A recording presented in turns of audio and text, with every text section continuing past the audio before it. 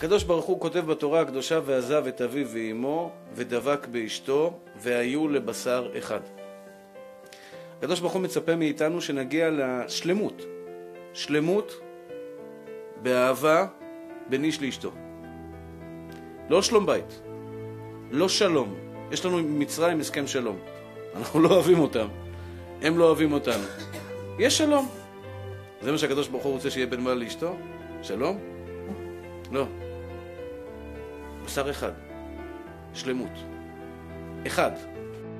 שמעתי מישהו השבוע שאומר, אם היו אנשים יודעים את היופי שיש בתורה, לא לעולם הבא. אני לא משכנע אנשים ללמוד תורה ולהתקרב לתורה בגלל עולם הבא. חשוב עולם הבא. עולם הזה.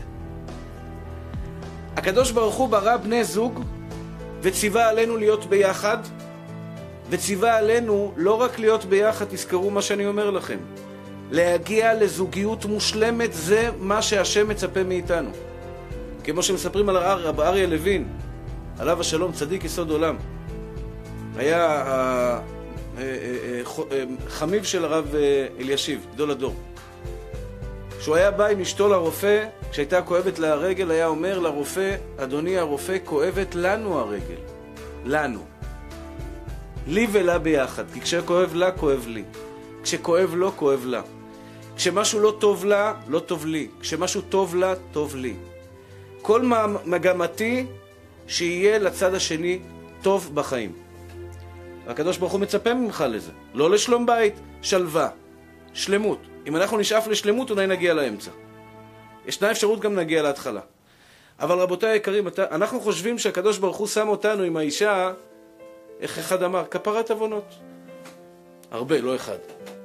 גם האישה, כפרת עוונות. בעלי כזה וכזה וכזה כפרת עוונות. אני לא רואה את העולם ככה. לא כפרת עוונות. הקדוש ברוך הוא ברא, נתן לך לחיות עם אישה כדי שאתה תגיע להנאות הגדולות ביותר בעולם. שלך יהיה טוב.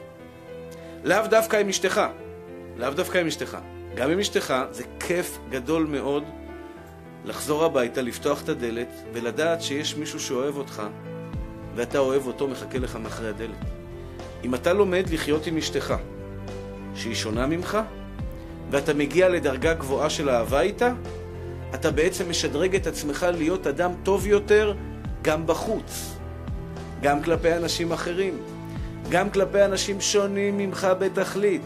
אתה הופך להיות אדם מושלם, ואתה הופך להיות אדם הרבה יותר מאושר, הרבה יותר שמח. למה אתה נהפך להיות אדם יותר שמח? כי אתה לומד להתרכז בדברים הטובים שיש ולא בדברים הרעים. כי אתה לומד ולהבין שהקדוש ברוך הוא שם אותך עם הדבר כזה ואתה לומד להעריך אותו. אתה לומד להיות מכיר טובה.